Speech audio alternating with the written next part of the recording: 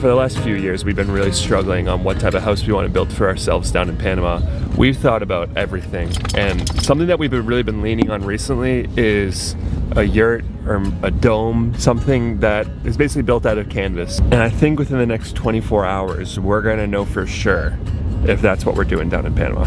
Yurt parking on the left. A little bit smaller, I think, than I expected. Yeah. I've been in a yurt before. This is my first time stepping foot in a yurt. Honey, oh my god, look how cute! There's a Christmas tree in there! This is adorable! Oh, I'm very curious to find out if this is like glamping, like glamorous camping, or if it's actually like living in a house.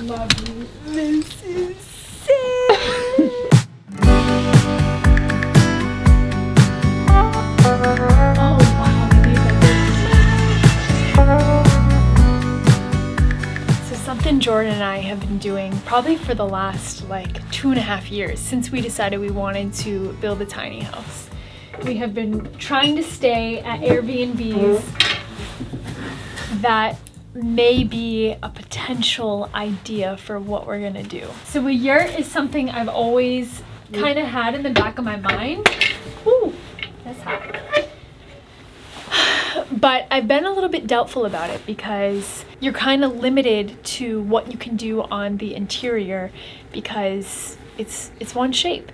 But the thing that I do love about it is that it's all just one big room, one big space, which is what we've been used to living in the bus for two and a half years, and now the workshop for almost a year now. Wow, they made these out of actual sticks. Yeah, that's incredible. That's what makes it so much cooler, I feel like. Than the lattice. Because all the lattice ones that I see, I like hate. Hi, mm. sweetie. Look who just woke up. Oh, good girl. oh my god, good girl. Ooh, big stretch. I love that. I've noticed how much Sadie's already been paying attention to what I do and just our surroundings around us. Like, if the TV's on, she's like locked onto that thing. And I just know that the things that we're doing with her now will just kind of set the tone. So, oh, Bubba. So I wonder how much all this travel will influence her and all this traveling around. And if that'll make us have a little nomadic baby that just loves traveling because I think this is like her fourth or fifth different home, maybe sixth. Six different homes she's stayed in already, and she's not even three months old yet. you hear that? You guys hear that owl? I don't think I've ever heard one like that before. We had a long day of travel, so we're pretty tired in here. We got some snow, but it looks like it's gonna clear up, so we're gonna have one last glass of wine and see if we can catch some stars.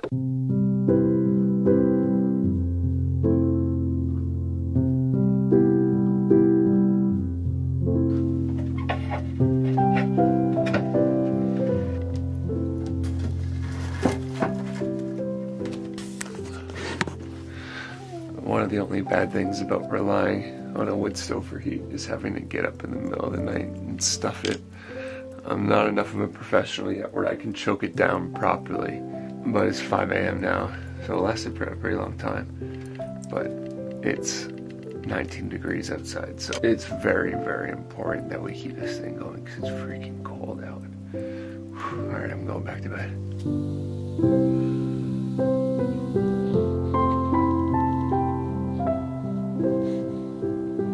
She awake or is she like? She's starting to wake up. I had a dream last night, or at some point this morning, that uh, it snowed all the way up to the Hobbit door and we couldn't get out.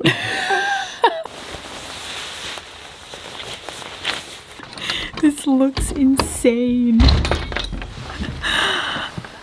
Oh my god. Sweetie, what the heck?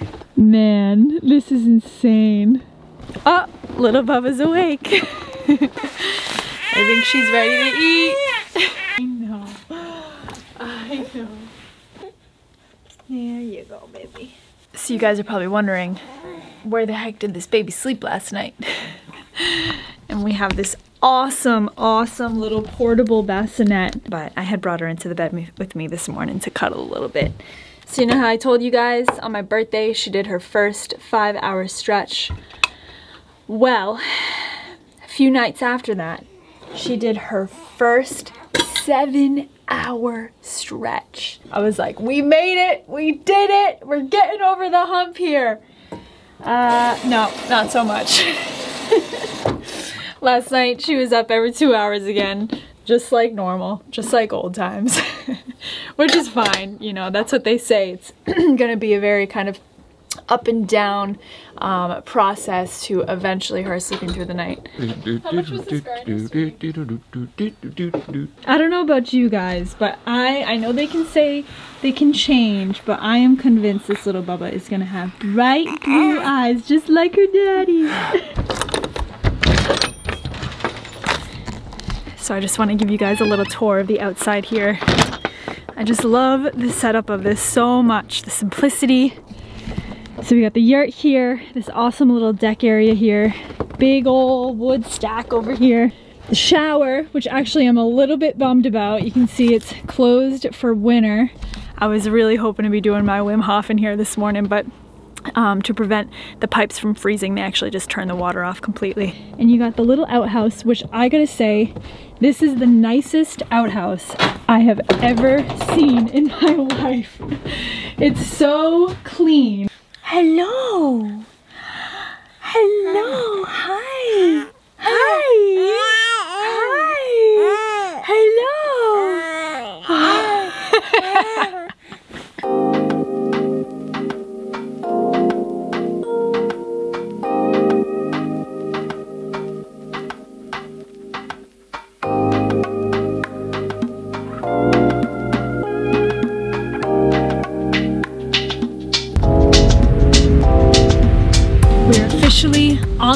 again. We're moving and grooving. This is gonna be like our first, I feel like, travel vlog in like years, love. I need to let everyone in on a secret. What? Kaylee really likes towns. For any of you guys that are new here, I really like towns. So we're actually heading to a town right now in Vermont. What is it labeled? The most beautiful town in America? The most beautiful, like, American village in America, especially around Christmas. Now, you guys know I freaking love Christmas. she loves towns and she loves Christmas. So this is just like probably one of the best days of my life. It is chilly up here. My hands are freezing right now. I got Sadie in her bear suit. She's all tucked up against me because it's so, so frigid. It's well in the teens. Woodstock is a super old town in America that was actually one of the first big tourist hotspots of the Northeast. People used to come here just to check out the architecture and a lot of those buildings are still standing today. But the only thing that's kind of a bummer is almost everything's closed. It looks like a lot of the, these stores, a lot of the restaurants, the cafes, the coffee shops, which we're most interested in, they're all shut down. And some of them even have signs saying that they're looking for staff. And something I read about a little bit is this labor shortage actually affected Vermont a lot.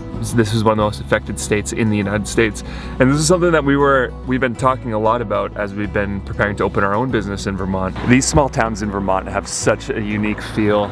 It's really hard to ex explain unless you've been here. They make all their own cheese, they make all their own meats, Maple syrup. plenty of maple syrup. They make their own beer, own produce, everything. It seems like almost anything in any store you go to is made in the Locally, state yeah. or in the town. And what we've been spending a lot of time looking at is the coffee and how much coffee is made here and how many specialty coffee roasters are here. Another thing that's big with Vermont is the word organic. Everything's organic. And the amount of organic coffee that they have is blowing my mind because we've tried to source organic coffee for two years. And it's been such a challenge for us to find organic coffee. We found it once. We found it one time. And we had to go deep into the jungle of Panama to where the Ngöbe tribe is to find organic coffee in that town. And the funny thing was those farmers told us the coffee was organic, they showed it as organic, but then there was like no nothing to regulate if it was organic or not. And that's the thing, it's like even though it's USDA organic, there's no USDA people going down to these countries and actually verifying if it's organic. So I'm not saying that this is all a lie or that this isn't true, but We have some skepticism around the whole organic thing. and we got a little digging to do to see how much this is real and how much of of this isn't. Right. That'll be in a future episode one day. I don't think so. after a long day of travel, of breastfeeding, of taking care of a little two month old, the last thing that I want to do is grocery shop and worry about what I'm going to be cooking for dinner. So that's why I'm very excited to announce that this video today is sponsored by Green Chef. So Green Chef is a USDA certified organic company that delivers meal plans straight to your doorstep. Tonight, we're making... You're so excited. Just wait. Just wait. Are you ready for this? I'm ready. Boom boom chicken. boom boom chicken, honey. You know what this is from? Tell the people. It's from Panama. Tell the people. It's from Big Daddy's in Panama. That's right. so it's pretty amazing because it comes with a whole page here that has all of the directions on how to cook this dang thing. And then you got these pre-packaged bags. You can tell I'm very excited. I'm I'm really loving this right now. I'm just here honestly. watching. All right, we got carrots, we got snap peas, we got scallions, cabbage, all the stuff we need to make boom boom chicken. Honestly, the coolest thing that um, Green Chef offers is you can pick what kind of meal plan you want. So this meal plan, we ended up going with paleo.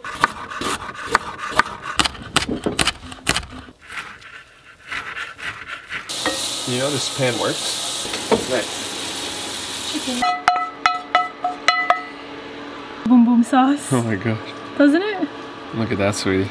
Woo! This whole meal took less than 30 minutes to make. It was so fast. That's because most of the ingredients, they're all pre-portioned out. They give you exactly what you need. If you guys want to try out Green Chef, bring the family together, you can go to greenchef.us slash nomadic10 and you can use promo code nomadic10 to get 10 free meals plus free shipping on your first box. You can get all the information down in the description below. But it's time to pig out now. It's been nearly two days that we've been living in a yurt now. And I feel like this whole experience was so important for us. I didn't think I would like it at all. We've lived really minimally and alternatively for three years in a school bus and then one year in a workshop.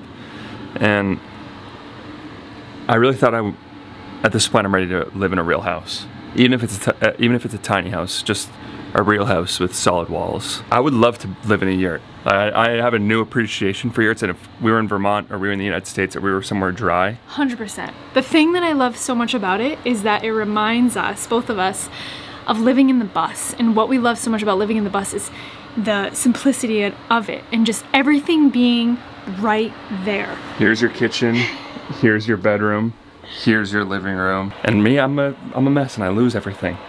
That's true. That's, And I a good misplace everything. And in the bus, I never lost anything. point. That's not true.